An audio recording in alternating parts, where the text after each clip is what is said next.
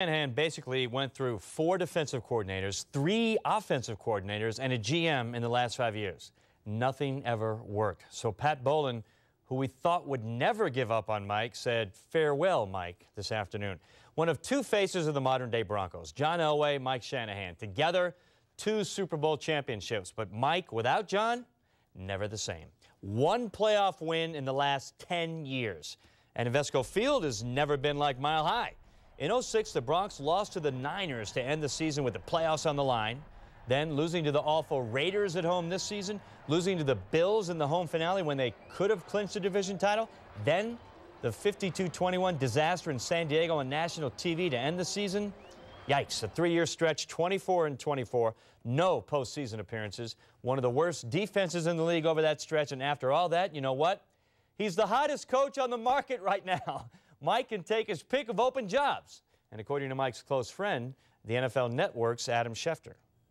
I would imagine that Mike Shanahan goes virtually to the top of every team's list that is looking for a head coach at this point in time. I think there will be teams that have head coaches in place that will have to ask themselves if they would be better served with Mike Shanahan as their head coach or their current head coach. So I don't think Mike Shanahan will be on the sidelines very long. My respect for him as a, as a man, as a coach, as a teacher, um, if there was something I ever, I ever wanted or needed, Mike would give it to me. My personal feeling for Mike is one that I'm always going to cherish that, and I'm always going to put him up there with the best coach in my life, whether it was high school, college, or whatever it might be. Mike Shanahan's the guy.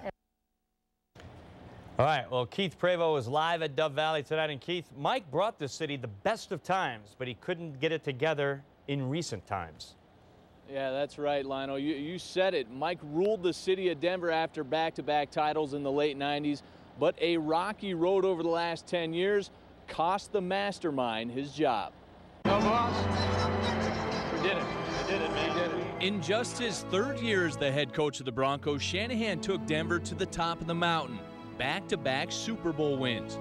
Elway retires in 99, and the Broncos feel the pain struggling for years to find a new identity and regain their glory. Finally, in 2005, Denver goes 13 and 3 and returns to the AFC Championship with Jake Plummer at the helm. A loss to the Steelers and a first round quarterback selection in the draft means Plummer is on the way out. Sure enough, after starting the 06 season 7 and 4, Plummer is pulled for the rookie Jay Cutler.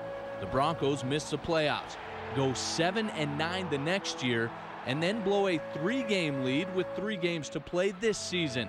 And Shanahan falls from cloud nine to the unemployment line. Obviously, I didn't do a good enough job getting these guys ready uh, to play at the level you need to play to win.